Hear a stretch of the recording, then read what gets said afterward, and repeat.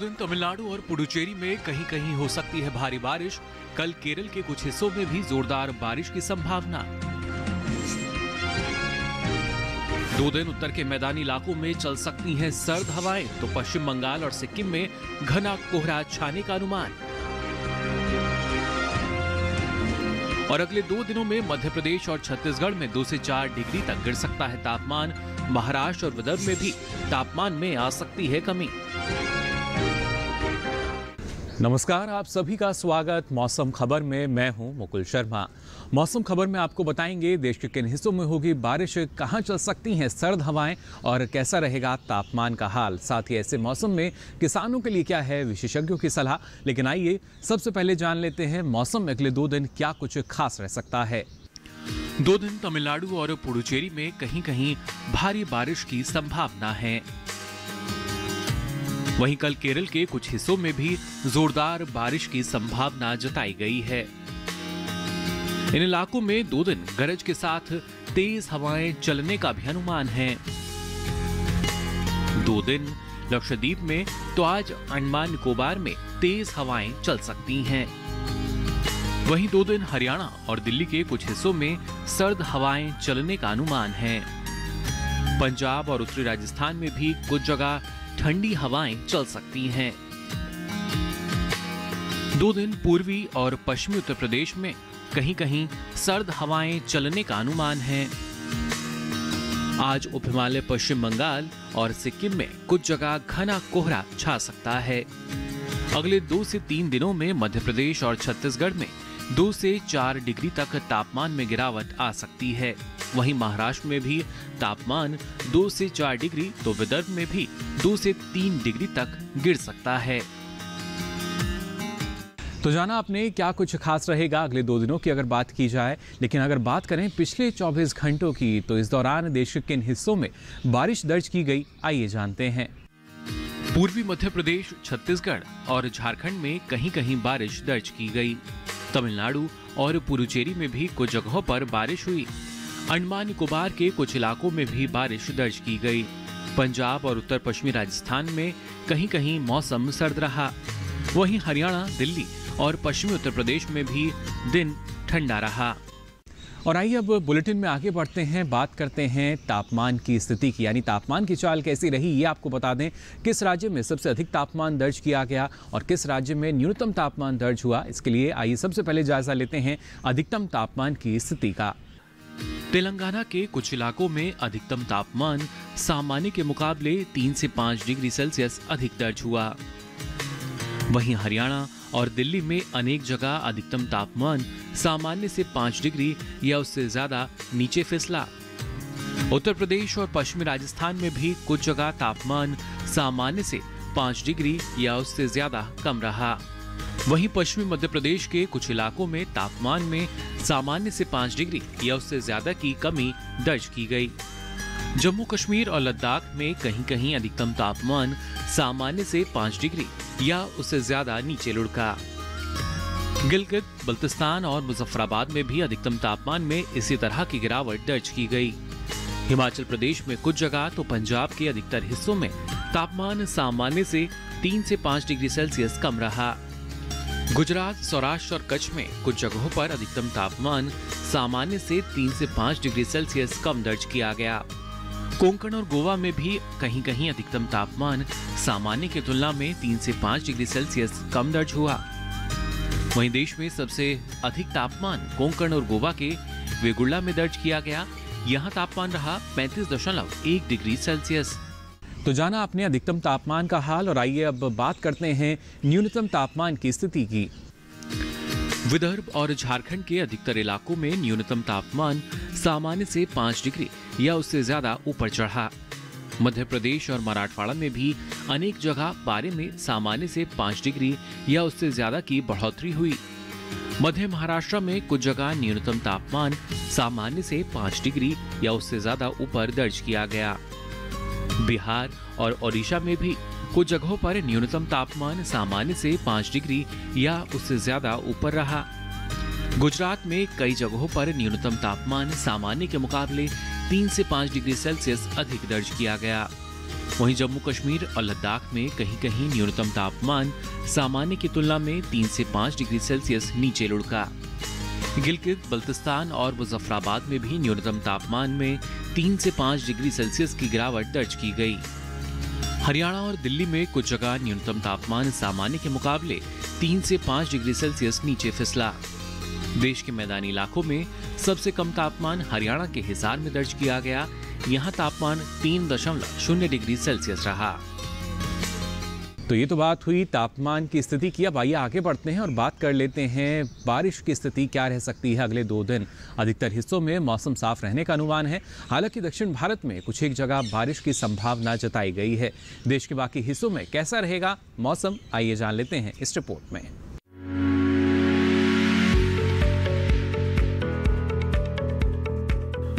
मौसम विज्ञान विभाग के अनुसार जम्मू कश्मीर, लद्दाख, हिमाचल प्रदेश और उत्तराखंड में फ़िलहाल बारिश के आसार नहीं हैं। वहीं उत्तर प्रदेश, पंजाब, हरियाणा और दिल्ली में भी बारिश की संभावना नहीं है। इसी तरह राजस्थान में भी बारिश की संभावना नहीं है। पूर्वी राज्यों में बिहार में इस समय बारिश का अनुमान नहीं है। जबकि झारखंड और ओडिशा में आज एक दो जगह बारिश का अनुमान है। गांगे और उपमालय पश्चिम बंगाल समेत सिक्किम में दो दिन बारिश की संभावना नहीं है। वहीं आज अरुणाचल प्रदेश, असम और मेघालय समेत नागालैंड, मणिपुर, मिजोरम और त्रिपुरा में बारिश की संभावना नहीं है। पूर्वी और पश्चिम मध्य प्रदेश समेत छत्तीसगढ़ में फ़िलहाल बारिश की संभावना नहीं है। गुजरात में भी दो दिन मौसम साफ़ रहने की संभावना है। इसी तरह मध्य महाराष्ट्र, मराठवाड़ा और विदर्भ में भी मौसम साफ़ रह सकता है। कोंकण और गोवा में भी इस समय बारिश के आसार नहीं हैं। दक्षिण भारत का रुख करें तो तमिलनाडु और पुडुचेरी में कल अनेक जगहों पर बारिश की संभावना है। तटीय आंध्र प्रदेश और रायलसीमा में दो दिन इक्का दुक्का जगहों पर बादल बरस सकते हैं। हालाँकि तेलंगाना में इस समय बारिश की संभावना नहीं है। वहीं तटीय और दक्षिण कर्नाटक के अंदरूनी हिस्सों में कहीं कहीं बारिश का अनुमान है, जबकि उत्तरी कर्नाटक के अंदरूनी हिस्सों में बारिश का अनुमान नहीं है। वहीं केरल में भी कुछ जगह बादल बरस सकते हैं। दूसरी ओर, अंडमान, निकोबार, द्वीप समूह और लक्षद्वीप में कई जगह बारिश की संभावना है।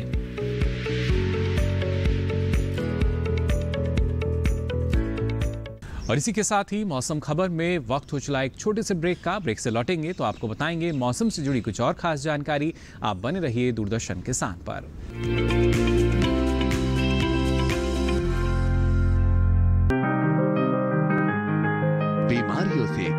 बचेगी फ़सल। मवेशियों की मुश्किलों का क्या है हल? कहाँ से लाएँ बीज? कितनी लगेगी खाद? किसानों के हर फ़ोन का विशेषज्ञ देंगे जवाब। देखिए हेलो किसान लाइव सोमवार से शुक्रवार शाम छह बजे।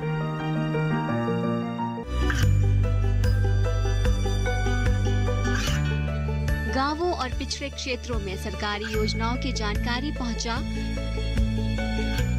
देश में कौशल और क्षमता विकास कर ग्रामीणों को सामाजिक बदलाव और विकास से जोड़ने की दूरदर्शन किसान की पहल। चौपाल चर्चा।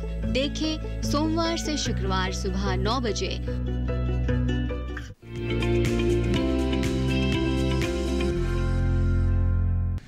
ब्रेक के बाद आप सभी का एक बार फिर स्वागत मौसम खबर में।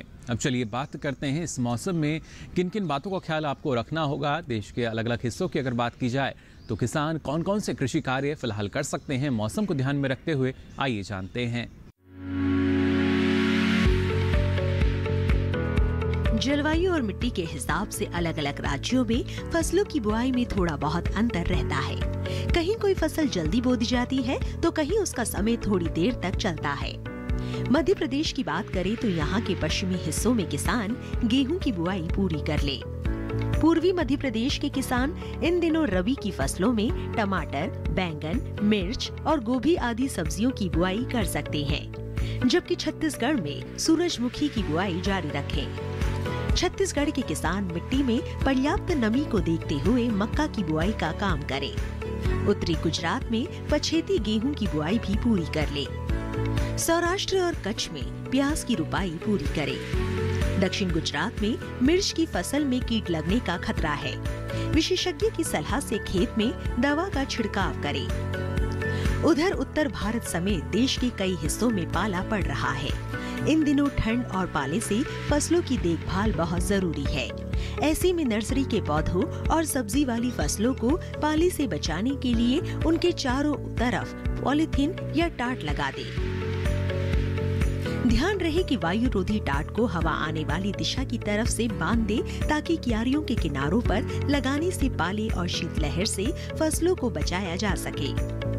पाला पड़ने के समय खेतों में ज़रूरत के हिसाब से सिंचाई ज़रूर करते रहें। और आइए अब मौसम खबर में आगे बढ़ते हैं आज की फ़सल में आपको बताते हैं, अगर आप नींबू की कागज़ी कला किस्म लगाना चाहते हैं तो किस तरीके से आपको प्रबंधन अपनाना होगा किन किन बातों का ख्याल रखना होगा, और किस तरह की सावधानी अपनाकर आप इसकी अच्छी उपज ले सकते हैं, आइए जान लेते हैं इस रिपोर्ट में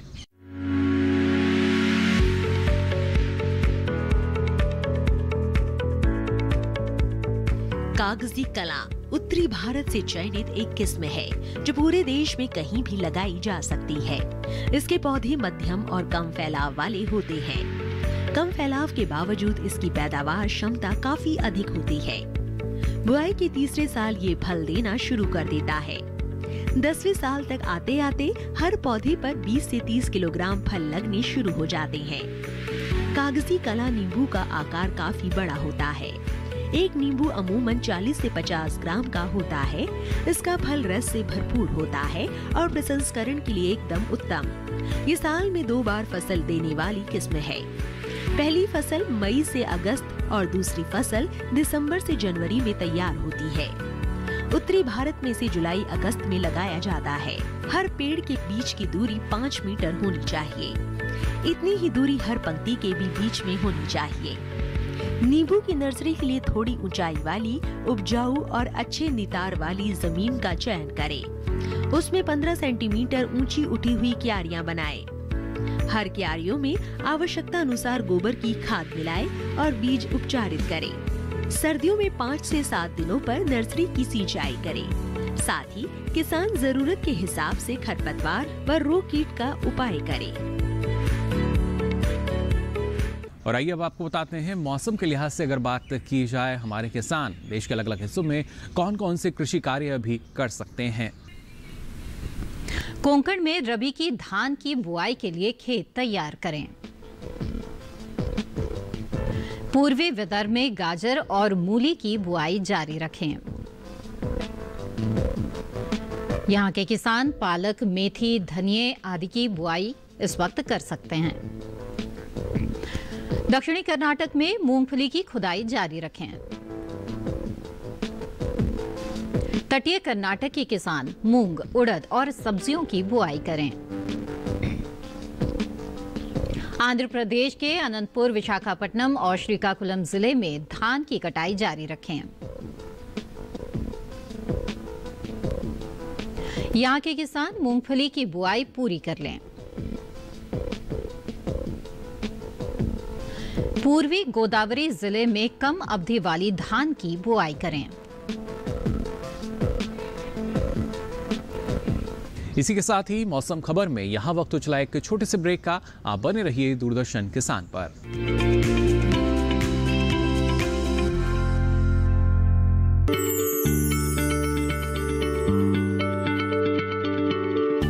क्या आप किसी बीमारी से परेशान हैं? चाहते हैं डॉक्टर की सलाह। तो हम हैं आपके साथ। बताएँगे आपको जीने की राह। समस्याएँ आपकी, समाधान देश के मशहूर विशेषज्ञों के। घर बैठे बात करें देश के जाने माने डॉक्टरों से। हमारे लाइव प्रोग्राम, स्वस्थ किसान में, हर शनिवार शाम छह बजे से सात बजे तक। ये कामयाबी है अन्नदाता की। ये कहानी है खेत और खलिहानों की। कैसे करें अपने पशुओं की देखभाल? जानिए गांव-गांव के किसानों का हाल। देखिए गाँव किसान। सोमवार से शुक्रवार, दोपहर 12 बजे। सिर्फ़ डीडी किसान पर।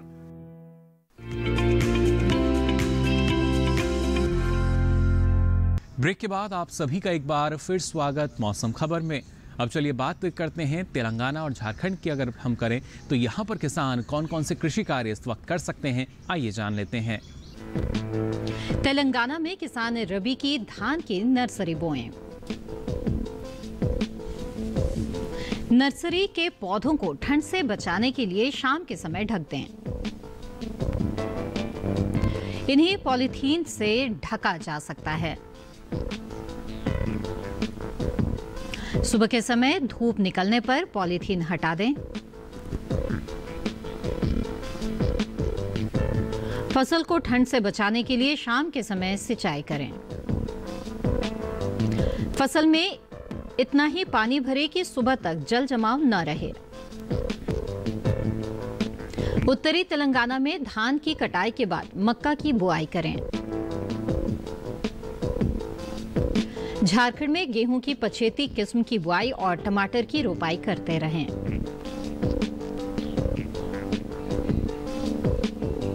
और आइए अब आपको बताते हैं अगले दो दिन मौसम में क्या कुछ खास रह सकता है। दो दिन तमिलनाडु और पुडुचेरी में कहीं कहीं भारी बारिश की संभावना है। वहीं कल केरल के कुछ हिस्सों में भी जोरदार बारिश की संभावना जताई गई है। इन इलाकों में दो दिन गरज के साथ तेज हवाएँ चलने का भी अनुमान है। दो दिन लक्षद्वीप में तो आज अंडमान निकोबार में तेज हवाएँ चल सकती हैं। वहीं दो दिन हरियाणा और दिल्ली के कुछ हिस्सों में सर्द हवाएँ चलने का अनुमान है। पंजाब और उत्तरी राजस्थान में भी कुछ जगह ठंडी हवाएँ चल सकती हैं। दो दिन पूर्वी और पश्चिमी उत्तर प्रदेश में कहीं कहीं सर्द हवाएँ चलने का अनुमान है। आज उप हिमालय पश्चिम बंगाल और सिक्किम में कुछ जगह घना कोहरा छा सकता है। अगले दो से तीन दिनों में मध्य प्रदेश और छत्तीसगढ़ में दो से चार डिग्री तक तापमान में गिरावट आ सकती है। वहीं महाराष्ट्र में भी तापमान दो से चार डिग्री तो विदर्भ में भी दो से तीन डिग्री तक गिर सकता है। तो जाना आपने क्या कुछ खास रहेगा अगले दो दिनों के दौरान? और आइए, अब आपको दिखाते हैं देश के प्रमुख शहरों में तापमान की स्थिति क्या रहेगी।